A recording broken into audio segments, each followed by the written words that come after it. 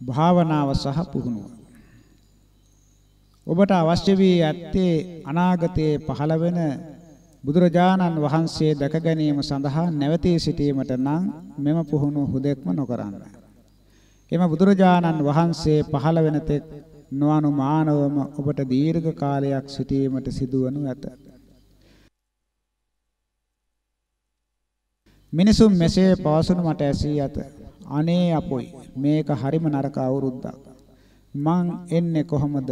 මුළු අවුරුද්දම මා සිටියේ ලෙඩින්. භාවනා කරන්නට නම් කොහොමටවත් බැරි වුණා යනුවෙනි. අනේ අපොයි.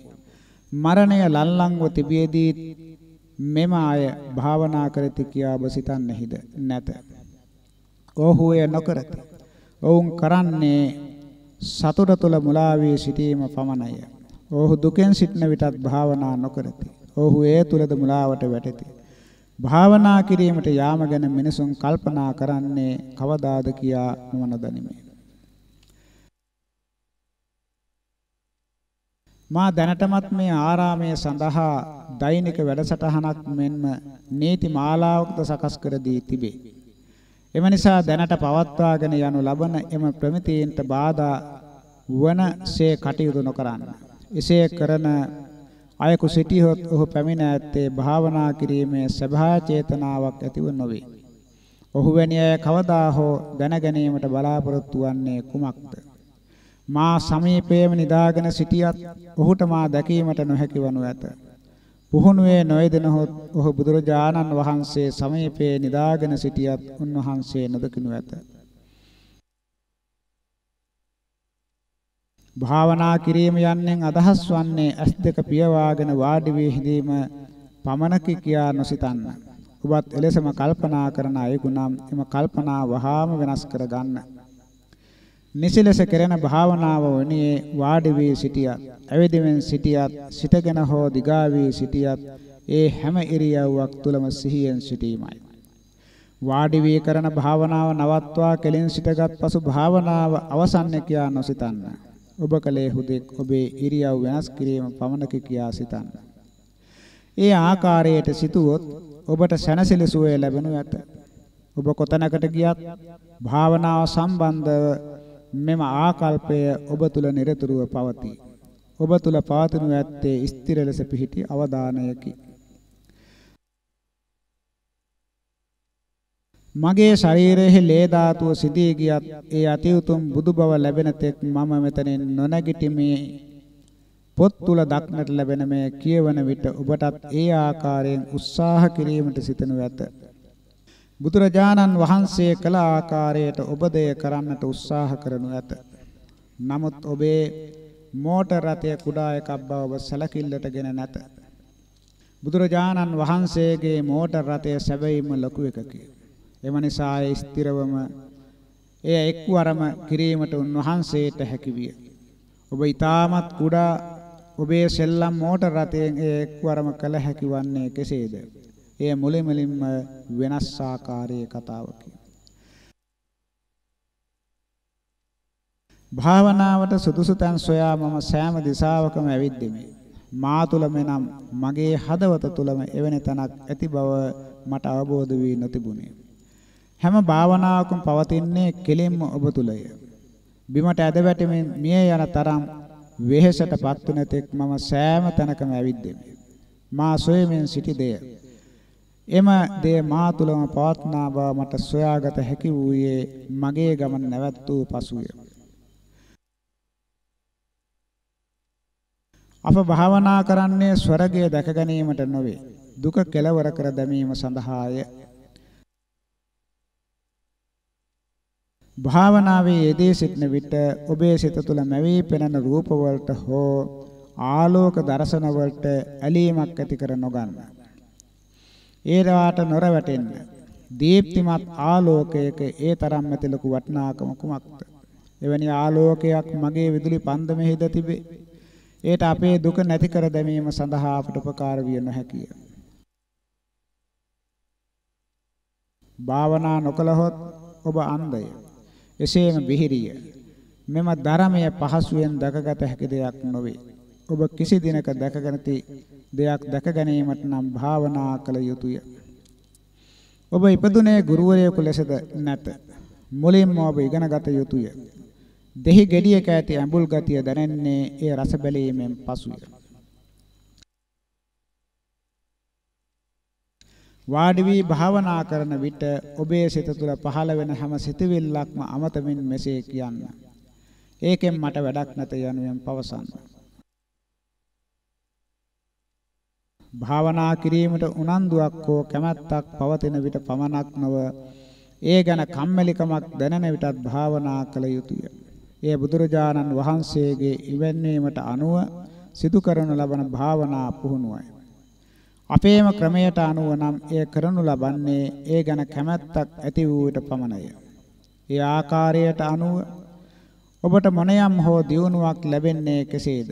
මේ අන්දමින් ඔබට සිතන සිතන ආකාරයට පුහුණු වීමට ගියහොත් මෙම කෙලෙස් ධාරාව සිත දැනීමට හැකිවන්නේ කෙදිනකද? අප කුමක් කළත් අපට ඒ තුලින් දැකීමක් ඇතිවිය යුතුය. පොත් කෙවීම තුලින් එවැනි කිසිවක් සිදු නොවේ. දින ගණන් ගෙවී යන නමුත් ඒ තුලින් අපි අපගෙන නොදකිමු. පුහුණුව ගැන දැනීමෙන් සිටීම යනු දැන ගැනීම සඳහා පුහුණු වීමයි. භාවනා නම් ඇත්ත වශයෙන්ම දුසින් ගණනක් තිබේ. නමුත් ඒ සියල්ල එකට ගත් විට කිව හැකි වන්නේ ඒවා ඔහේ තිබුණා වේ යන්නය. සටනෙන් ඉවත් වීව මෙතනට පා නගන්න. ඒ අත්හදා බැලීමට ඔබ උනන්දු නොවන්නේ මක් නිසාද? භාවනා කිරීම නිකම් නිකම් කල්පනා කිරීමක් වුවහොත් එය සැවනැල්ල බදා ගැනීමෙන් වස්තු අතහැර දැමීම බදුය. වර්ෂ කිහිපයක් පමණක් භාවනාවේ යෙදී සිට විට ඒ ගැන තාමත් විශ්වාසයක් ලැබීමට මටම නොහැකි විය. නමුත් බොහෝ අත්දැකීම් ලැබූ පසු මම මගේ හදවත විශ්වාස කිරීමට ඉගෙන ගත්තෙමි. ඒ ආකාරයේ ගැඹුරු අවබෝධයක් ලැබූ පසු කුමක් පහළ වුවත් එය සේවීමට ඉඩදී සිටීමට ඔබට හැකිවන්නේය. එවිට හැම දෙයක් පහළ වෙමින් නිරුද්ධ වේ. ඔබ කල යුත්තේ කුමක්ද කියා ඔබේ හදවතින්ම පවසන ලබන එක්තරා අවස්ථාවකට ඔබ පත්වන්නේය. භාවනා කරන විට මනස තුල හටගන්නා කැළඹිලි ස්වභාවයට හසු වී සිටීම නිසා සිටීම නිශ්චලව ස්වභාවයට හසු වී සිටීමට වඩා හොඳ වන්නේ කැළඹීමෙන් යුතුව සිටන විට ඔබට අඩුතරමින් එයින් ගැලවීමටවත් අවශ්‍ය වන නිසාය. නමුත් නිශ්චල භාවයට හසු වීගත් පසු එයින් ඈත් නොවි ඒ තුල තෘප්තියෙන් සිටීමට ඔබට අවශ්‍ය වෙයි. විදර්ශනා භාවනාව තුළින් පහළ වෙනම ප්‍රබෝධමත් පැහැදිලි ධානා ලක්ෂණ පහළ වෙන විට ඒවා කෙරෙහි නොඇලෙන්න. අප භාවනා කරන්නේ හුදෙක් මේ මනස ගැන හා ඒ තුල පහළ වෙන සිතුවිලි ගැනය. ඒ පසුපස හඹා යුතු හෝ ඒ ගැන අරගලයක් කළ යුතු දෙයක් නොවේ. අප වැඩකයේදී සිටන විට පවා හුස්ම වැටීම සිදුවේ. ස්වාභාවිකව සිදුවන මෙම ක්‍රියාවලිය ගැන මනස වග බලා ගනී. අප කල යුතු එකම දේ වනුයේ ඇතුළත පැහැදිලිව දැක ගැනීමට හැකිවනසේ ඒ තුලට යොමු වී අවධානයෙන් සිටීමට උත්සාහවත් වීමයි. භාවනාව එවැනි දෙයකි. නිසි ආකාරයට පුහුණු නොවීම යනු අනවධානයෙන් සිටීමයි. අනවධානයෙන් සිටීම මරණයට පත්වේ සිටීමට සමානය. මරණයට පත් වූ පසු ඔබට භාවනා කිරීම සඳහා කාලයක් තිබේද කියා ඔබ ඔබෙන් ප්‍රශ්න කරන්න. මා මරණයට පත්වන මොහොත කුමක්ද කියා ඔබ নিরතුරුව ඔබෙන්ම ප්‍රශ්න කරන්න. මේ ආකාරයේ මෙනෙහි කිරීමක් සිදු කළහොත් ඔබේ මනස හැම තත්පරයක් තුලම අවදියෙන් පවතී. එවිට ඉබේටම ඉබේටමෙන් එළඹී සිහිය පහළ වේ. පහළවන දේවල් සැබවින්ම පවත්නා ආකාරය පැහැදිලි වශයෙන් දැක ගැනීමෙන් ප්‍රඥාව පහළ වේ. දිවාරා දෙක්කි নিরතුරු පහළවන හැඟීම් ගැන දැනීමෙන් පසුවන එළඹී සිහිය විසින් මනස රැකගනු ලබයි. එළඹි සිහියෙන් යුතුව සිටීම යනු ශාන්ත භාවයටපත් වේ සිටීමයි.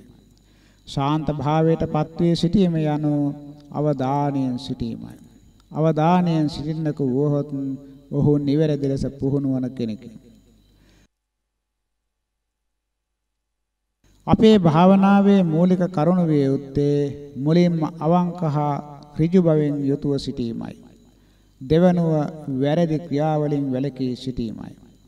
තුන්වෙනුව ආශාව අත්හැර ස්වල්ප දෙයකින් තෘප්තිමත්ව සිටීමයි. කතාව හා අනිකුත් හැම දෙයක් ස්වල්පයකට පමණක් සීමා කරමින් ඒන් සෑහීමකටපත් වුවහොත් අපට අප ගැන දැකීමක් ඇතිවේ. සිත වික්ෂිප්ත භාවයට පත්න වී පවතී. මනස තුල සීලයට සමාධියට හා ප්‍රඥාවට පදනමක් පවතී. ඔබ මුලින්ම කරන්නේ ඉදිරියට යාම ඉක්මන් කිරීමත් ආපසු යෑම ඉක්මන් කිරීමත් නැවතී සිටීම ඉක්මන් කිරීමත්ය. ඔබ දිගින් දිගටම මේ ආකාරයෙන් පුහුණු වන්නේ ඉදිරියට යාමත් ආපසු යෑමත් නැවතී සිටීමත් හරි නොවන දේවල් ලෙස දැක ගන්නා තෙක්ය. ඉන්පසුයේ සියල්ල නවතී. දැන් නැවතී සිටීමකුත් ඉදිරියට යාමකුත් ආපස්සට යෑමකුත් නැත. ඒවා අවසන් වී ඇත. කිසිවක් කිසිසේ සැබවින්ම නපවත්නා බව ඔබ දැනගන්නේ හරියටම මෙතනදීය. ඔබ භාවනා කරන්නේ දේවල් ඉවත දැමීමට මිස යම් කිසිවක් ලබා ගැනීමට නොවන බව මතකයේ තබා ගන්න. එය කරනු ලබන්නේ ආශාව මුල් කරගෙන නොව අත්හැරීම මුල් කරගෙනය. ඔබ භාවනා කරන්නේ යම් කිසිවක් ලබා ගැනීමේ ආශාවෙන් නම් එය නොලබනවා ඇත. මාර්ගයේ හදවත ඒ තරමට සරලය. ඒ ගැන කිසිවක් දිගින් දිගට පැහැදිලි කර දීමේ අවශ්‍යතාවයක් නොතිබේ. ආශාව හා ද්වේෂය අල්ලා නොගෙන ඒවා ඇතහැර දමන්න. මගේ භාවනා පුහුණුව තුළදී මා කරන සියල්ල එපමණකි. වැරදි ප්‍රශ්න ඇසීම තුළින් ගම්‍ය වන්නේ ඔබ තාමත් සැකයට හසු වීගෙන සිටින බවය. පුහුණුව ගැන කතා බහේ යෙදීම විදර්ශනාවට උපකාරී වන්නේ නම් එය වරදක් නොවේ. නමුත් සත්‍ය දැකීම ඔබ විසින්ම කළ යුතුයකි. අප පුහුණු වන්නේ උපාදානයේ වැඩි කර ගැනීම සඳහා නොව අතහැර දැමීම ඉගෙනීම සඳහාය. අවබෝධය පහළවන්නේ මොනියම් වූ දෙයක් ගැන හෝ ආශා කිරීම නවතා දැමූ පසුවය. ඔබට සිහියෙන් සිටීමට කාලය තිබේ නම් භාවනා කිරීමටද කාලය තිබේ.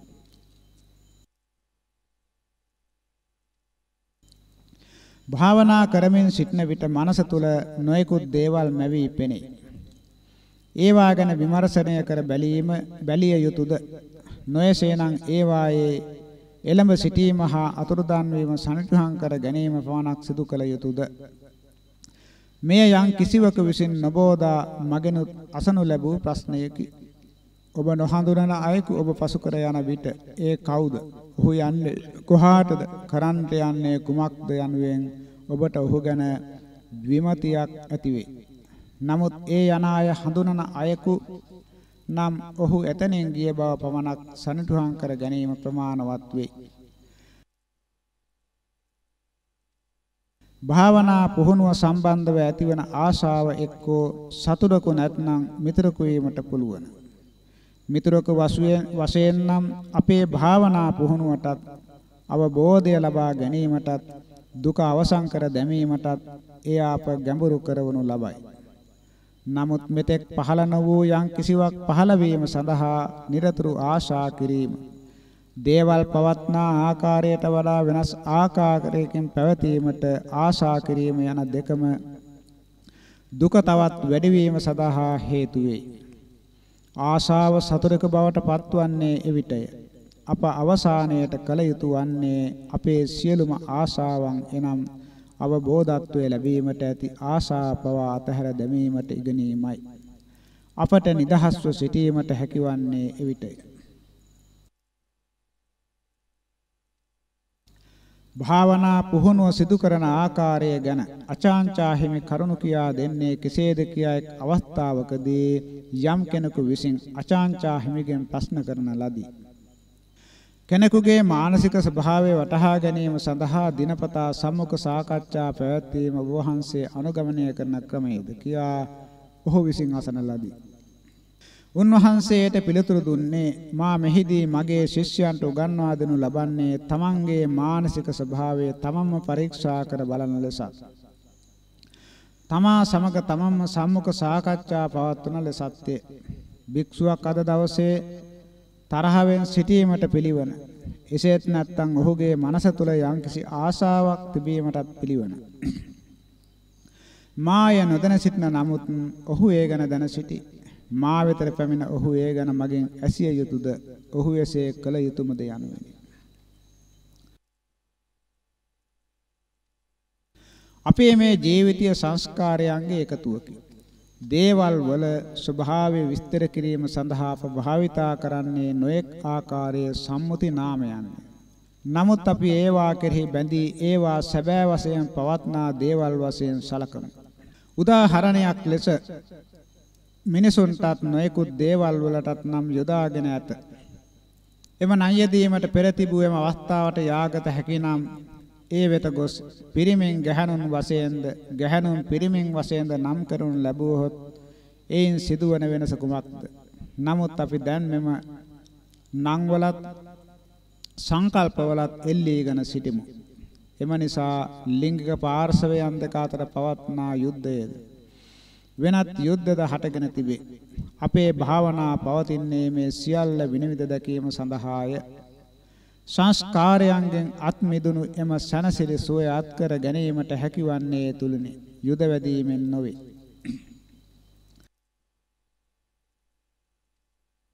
සමහර පුද්ගලයන් පැවිදි වන්නේ යම් විශ්වාසයකින් යුතුය. නමුත් පසුවට බුදුරජාණන් වහන්සේගේ ධර්මය ගැන නොසලකා හරිමින් ඔහු එය කෙලසති. දැනීම වැඩියෙන් අතත් ඔහු නිවැරදි අන්දමට පුහුණු නොවේති. මේ දිනවල සැබවින්ම පුහුණු වන අය ඊටමත් විරලය. න්‍යාය හා පුහුණුව පළමුවැන්නෙන් කෙරෙන්නේ බෙහෙත් පැලෑටියේ නම දැන ගැනීමය. දෙවැන්නෙන් කෙරෙන්නේ එම පැලෑටිය සොයා ගැනීමෙන් එයින් ප්‍රයෝජන ගැනීමය. ශබ්දය කුරුල්ලන්ගේ හඩට ප්‍රිය කරන නමුත් කාර් වලින් නැගෙන ශබ්දයට ඔබ ප්‍රිය නොකරන්නේහිය. මිනිසුන්ටත් ඔවුන්ගේ ශබ්දවලටත් බිය නිසා ඔබ තනි පංගලමේ මේ කැලෑවෙහි ජීවත් වන්නේහිය. ශබ්ද අතහැර දමා ඔබ ඔබේ දරුවා රැකබලාගෙන සිටින්නේහිය. දරුවා ඔබේ භාවනාවයි. භාවනා පුහුණුව සඳහා අලුතින් පැමිණ සිටින අයට තමන් වහන්සේ දෙන අවවාදයේ කුමක්ද කියා එක් සාමණේර භික්ෂූන් භික්ෂුවක් අචාන්චා හැමකින් විමසූ විට උන්වහන්සේ මෙසේ පිළිතුරු දුන්හ. මා ඔවුන්ට දෙන අවවාදයක් දීර්ඝ කාලයක් භාවනාවේ යෙදී සිටින අයට දෙන එම අවවාදයමයි. යනුවෙන් පිළිතුරු දුන්හ. ඒ අවවාදය කුමක්ද? හුදෙක් එහිම යෙදී සිටින්න යන අවවාදයයි. යනුවෙන් උන්වහන්සේ තවදුරටත් පැහැදිලි කර දුන්හ. මිනිසුන් පවසන්නේ බුදුරජාණන් වහන්සේගේ ධර්මයේ යහපතයක් වන නමුත් ඒ වර්තමාන සමාජය තුළ පුහුණු කළ නොහැකි බවය. මා තාමත් සිටින්නේ තරුණ වියේ නිසා පුහුණු වීම සඳහා අවස්ථාවක් නැත. මහලු වූ පසය කරමි අනාදී දේවල් ඔහු පවසා සිටිති. මා තරුණ නිසා කෑම ගැනීමට වෙලාවක් නැත. මහලු වූ පසු කෑම කම කියාව පවසන්නේහිද ගිනියම් කළ යකඩ කූරක්ගෙන මා එයින් ඔබට එනහොත් එන්නහොත් මා මේන් දුක් විඳින බව නම් සැබෑය. එහෙත් මේ සමාජය තුල ජීවත් වන නිසා මට එයින් බේරී සිටිය නොහැක කියා බව පවසන්නේහිද. භාවනා පුහුණුවේ හදවත සැකසෙන්නේ සීලය සමාධිය හා ප්‍රඥාව එකට එක්වීමෙනි. සීලය මගින් සිරුරහා කතාව නිවැරදි කරනු ලබයි. මනසේ නිවහන සිරුරයි. එම නිසා මෙම පුහුණුව තුළ සීලයට සම්බන්ධ ක්‍රමයකුත් සමාධියට සම්බන්ධ ක්‍රමයකුත් ප්‍රඥාවට සම්බන්ධ ක්‍රමයකුත් පවතී. එය කොටස් තුනකට කපා වෙන් කළ ලී කොටයක් බඳුය. නමුත් ඒ කොටස් සියල්ලම එකම එක් ලී කොටයකි. අපට සිරුරහා කතාව ඉවත දැමීමට අවශ්‍ය වූහොත් එය කළ නොහැකිය. මනස ඉවත දැමීමට අවශ්‍ය වූහොත් එයද කළ නොහැකිය. මෙම පුහුණුව සිරුරහා මනස යන දෙකෙන්ම සිදු කළ යුතුය ඇත. එම නිසා මේ තුල පවත්නා සැබෑ తত্ত্বය සීලය සමාධිය හා ප්‍රඥාව එකට එක් වී ක්‍රියාත්මක වන එකමුතු බැඳීමකි.